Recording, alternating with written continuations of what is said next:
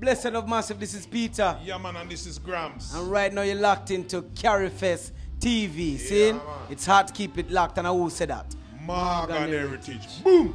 Rockers. I'm rocking right now. I'm feeling the vibes. I'm feeling the energy. Morgan Heritage is here in Houston, Texas, giving the people what they want. If you don't believe me, take a look around at the crowd and join the vibes. To hear more from the Grammy Award winners, Morgan Heritage, guess what? Stay tuned for more interviews with the Grammy Award winners, Morgan Heritage. Somebody say yeah, yeah.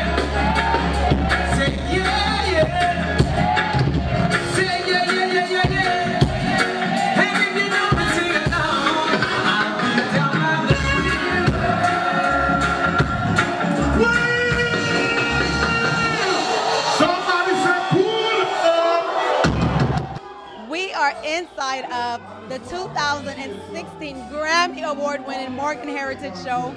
And standing with me, we have Ras Attitude, who opened up the show for Morgan Heritage. He set the standard, set the stage. Ras, how you feeling right now? I'm feeling good, man. Giving thanks and praise for life, you know. It's a, you know, it's a, it's a gracious event. Check it out. It's a good vibes, you know what I mean. I don't know how I get footage, and the, the vibe is royal, you know. Yeah, man. Now, when you was performing, I saw how the crowd was rocking and vibing to your sound, your distinguished voice. Yes, sir. I know you have like two albums coming out. Tell us a little bit about those two albums. Yeah, well, one of them named Warrior Status. We've been working on it for a while, and certain things, you know, certain obstacles get in the way because there's a thing called life, you know. Right, So we had to, you know, some setbacks, so we had to kick it back for a little while. So now we're getting ready to push it. Um, we're getting ready to put it on the road. Then we have another one called Chant. We did the EP for that Pleasant in the Presence. Okay. You know, okay. so I like that title. yeah, of Present. yeah, I'ma yeah, use yeah, that. yeah, definitely. You know, so that's what we're coming out with. We've been working hard. We've been dealing with the Boondocks, the Black Organization of Noble Diplomats Optimizing Expressions. What? Yeah, you know, so we, Okay. we're dealing with that, and you know, it's, it's just a, a family of artists, sounds. You know, um, vid- we have the video company. You know, Okay. Boondocks Ijaw Films. So we've been pushing that, and, and you know, it's a whole vibe. We got a big up Apostle, Rafael Jaciano, you know, big up Carrickil, you know, Jabami, you know, Bo- Boondocks all over, you know. Now, Alton, since you've been here, you've you've been bringing a lot of big, full band reggae shows. You brought Tarrus Riley. Now you have Morgan Heritage, and I know a lot of people think that you are actually a new promoter, but you've been doing this from ever since back home in the VI. You've been promoting shows, and I heard you brought Shabba to the VI for the very first time, right? Yeah. So tell me, what's your inspiration to actually bring full bands, not just the lead singer, but a full band? Well, I think I think reggae music ain't reggae music unless you get it live. You more get the feeling of the music or the live band than just listening to a DJ sound. Right. You know, and that's the way I go. So tell me, what do you have planned next? I know you have some many, many more shows that's actually lined up. And I know you probably want to be a little hush hush about it, but I think now would be a good time to, you know, spill the beans on who you're bringing next. I got my eyes on Chronixx. Really? Yeah, Definitely. So you're he's actually going to be here with the full band. everything I do is with a full band. And that is why tonight you guys have seen and witnessed the massive amount of people who came out early, nine o'clock, early to come out to support because there's a full band. You get a full show. You don't get five minutes, you get a full show. How does it feel to now have the title Grammy Award winner? Not saying that Morgan Heritage, you know, we know you guys come with a lot of weight. You have a massive catalog of music that you guys do, but how does it feel to now have the title Grammy Award winning Morgan Heritage? It's a blessing and it's humbling. Mm-hmm. You know, it makes you appreciate what you've been doing over the years. Right. Makes you appreciate the fans. You know, and it, it, it just motivates you to want to do more. You know, Okay. but it's very humbling and it's a blessing. And it definitely is. So, Gramps, Yeah. tell me about your experience and what you've been feeling since you won. Well, it's the same thing. It's humbling, you know, Uh-huh. because throughout the years, I put out music year after year and try to keep the quality and the standard to represent the Caribbean Well, and our me interrupt. You don't try to keep it. You keep the quality. Yes. Good reggae music. Yeah, well, we make sure. Sometimes we're in the, in the laboratory and, and, and cooking up, but we do our best. But the fans is who determine, you know, what is what, and it's been working so far. So we're very thankful, and it, it got to a point where we are now um, been, you know, acknowledged by a, such a prestigious academy Right, to even definitely. recognize music. Because not mm-hmm. everybody recognize reggae music, so we have to big up the Grammy board to even recognize our genre of Definitely, music. because you guys actually had a stiff, a stiff competition. You had Yes. Jah Cure Luciano Yes. and all these other people that's actually representing reggae. Yes. But for you guys to come out victorious, I was like, yes, Morgan Yeah, Heritage. yeah, so I know you guys are actually on tour, mm-hmm. Promoting your new reggae album, Strictly, Roots. Strictly Roots. So tell me what is different about this album compared to everything else that you guys have done. Well, one of the biggest things is that um, it's our own label, Cool to Be Conscious Music Group, and we produced um, the album, put it out ourselves, um, went to the FedEx ourselves, you know, mailed it out to the DJs ourselves, Right. and so it, it's a it's a very um, humbling experience because the first album we put out independently Uh-huh. of any major record label or independent label, we won a Grammy to be recognized. So it just shows the experience over the years, and and I think it's some of our best work today. That after taking off five years, Mm-hmm. um, doing solo projects and working with different artists, and we've all grown as individuals. Definitely. Now you can feel that in this Definitely. album. And I'm so glad you actually mentioned like you guys are doing um, individual projects. I know that you have like a vitamin line Oh, yes. that's coming out or that's already out. That's already out. Jamaican Pride. Okay, so tell us a little bit about that. Well, for you, I'm going to tell you to I'm take the, hey. the, the, elk, the elk antler, the female version. Okay. Uh, it's on, and the male version, fire. What? Uh-huh. But the, the female version that you're here, it helps women with fibroids, um, Okay. menstrual cramps, Uh-huh. mood swings, and also it makes that special place very special again. We- we- are we are live on Okay. TV, so I can't tell you the, the real long shung dung, you know. so, but it, it, it's a it's a very powerful herbs. Um, Okay.